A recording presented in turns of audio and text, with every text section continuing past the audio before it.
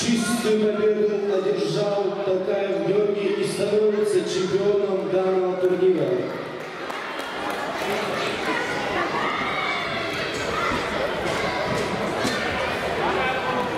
Все, сейчас приготовимся.